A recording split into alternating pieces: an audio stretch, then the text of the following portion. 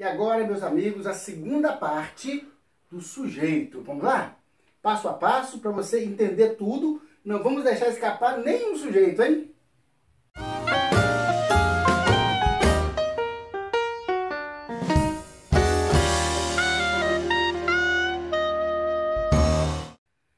Bem-vindo ao canal do Professor Nasson. Olha aí, mais sujeito, você vai conseguir entender e aprender toda a estrutura do sujeito.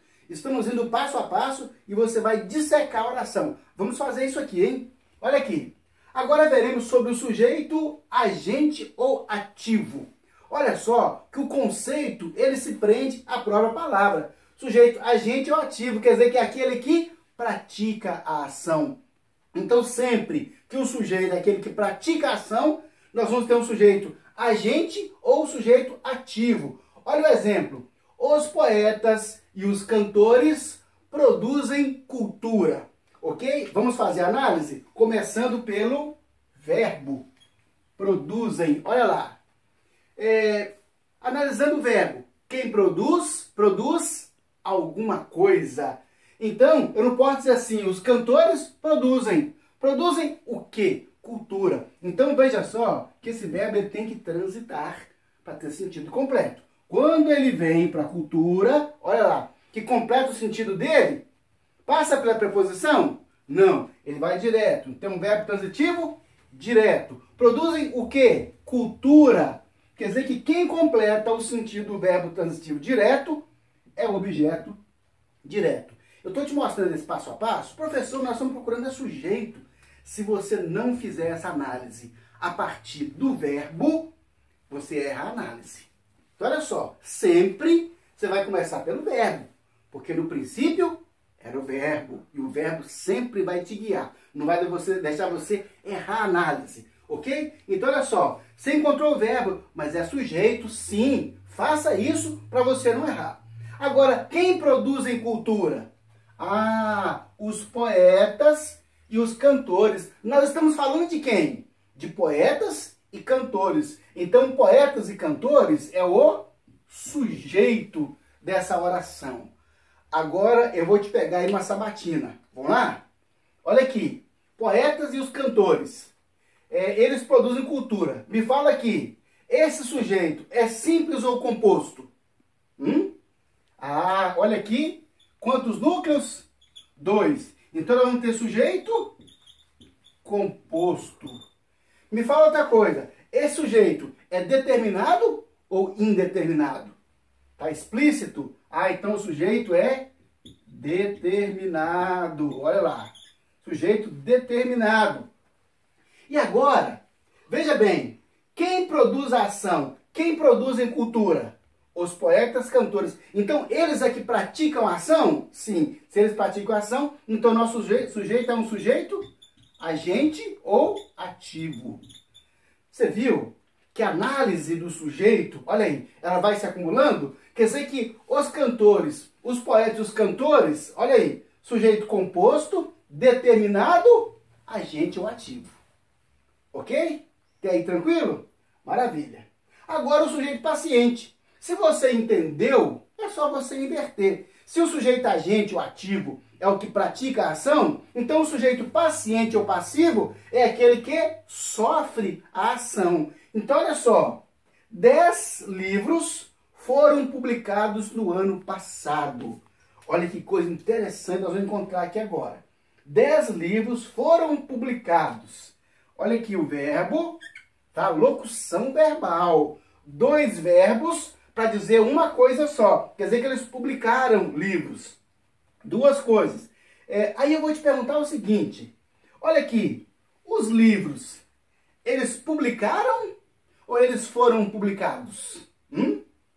Os livros publicaram ou foram publicados?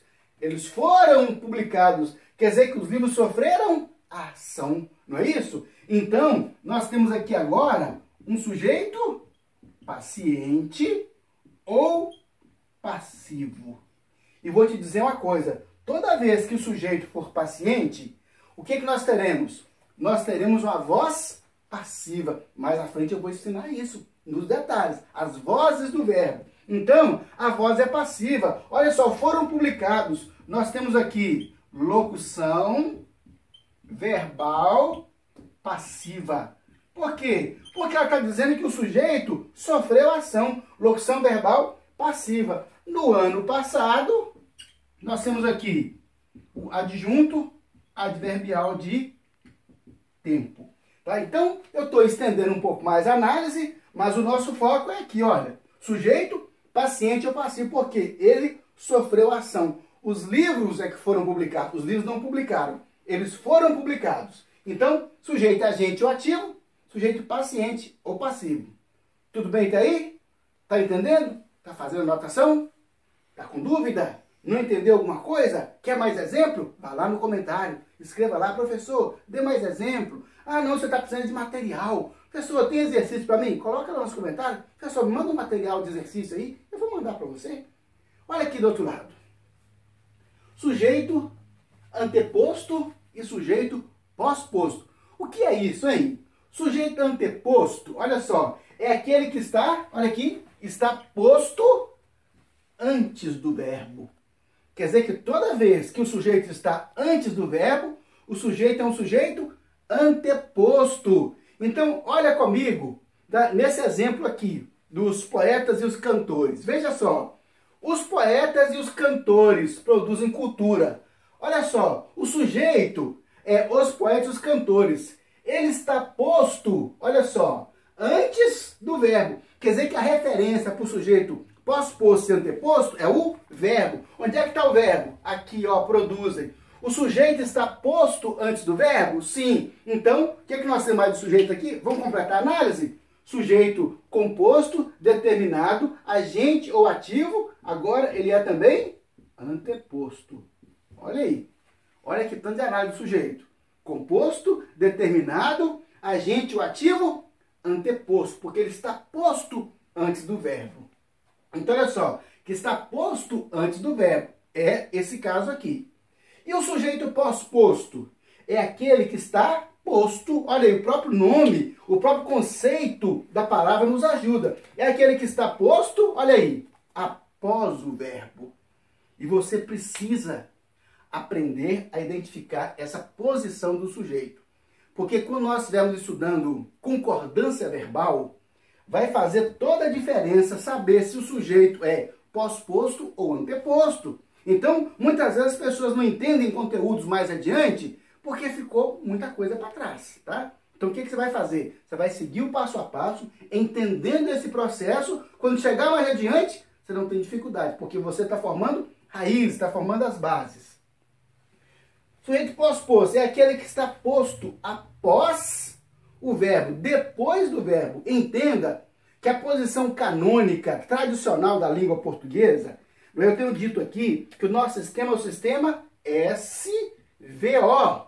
Sujeito, verbo, objetos. Só que você vai encontrar nos poemas. Você vai encontrar nos hinos essa inversão constante. Os termos da oração é, é, trocado, aqui é chamado de hipérbato. Essa troca de posição desses termos. É uma figura de linguagem chamada hipérbato. Deixa eu até escrever aqui, olha, tá? Olha aí hipérbato. É a figura de linguagem em que ocorre inversão dessa ordem. Olha, CD, que você deve conhecer esse exemplo que eu coloquei aqui. Ouviram do Ipiranga as margens plácidas. Olha, você conhece isso de algum lugar? Ah, quem sabe isso aqui é um trecho do hino nacional brasileiro. Ok. Ouviram do Ipiranga as margens plácidas. Você percebeu que a oração, olha aqui, começou com verbo. Ah, professor, terceira pessoa do plural, sujeito indeterminado. Não. É porque o sujeito está pós-posto. Quer dizer, então, que olha aqui, as margens plácidas do Ipiranga ouviram de um povo heróico o brado retumbante. Então, quem é o sujeito da oração? As margens plácidas do Ipiranga. Quer dizer que isso aqui é o sujeito. As margens plácidas do Ipiranga ouviram de um povo heróico um brado retumbante. Então, olha só, é, o sujeito é as margens do, do Ipiranga, núcleo do sujeito, margens. Ah, pessoal, Ipiranga não é não, que é nome de rio? Não, porque olha aqui está preposicionado. Tá? O núcleo do sujeito é margens. Por isso que está no plural aqui. Margens ouviram, porque o verbo concorda com o núcleo do sujeito. Então, as margens Plácido do Ipiranga ouviram. Então, isso aqui, pessoal, é o verbo. Quem ouve, ouve alguma coisa. Ouviram de um povo heróico o brado retumbante. Então, isso aqui é um verbo transitivo direto. Ouviram o quê? Ouviram o brado de um povo heróico. Tudo bem? Então, nesse caso aqui, olha só, o nosso jeito, ele está posto, olha aí, após o verbo. Então, o nosso jeito aqui é um sujeito pós-posto. Agora, vamos analisar, fazer a análise completa? Ok. Então, as margens passam Ipiranga é o sujeito. Núcleo do sujeito, margens. E ouviram um povo heróico. Vamos analisar então. Sujeito simples ou composto? Sujeito simples, porque tem apenas um núcleo, que é margem. Sujeito determinado ou indeterminado? Determinado. Está escrito ali, olha lá. Determinado. É, o sujeito é agente ou paciente? Então foi as margens que ouviram. Sujeito é agente ou ativo. Olha aí. Ele é pós-posto ou anteposto? Ele é pós-posto. Olha aí. Entendeu tudo? Mas ainda tem mais um pedacinho para você.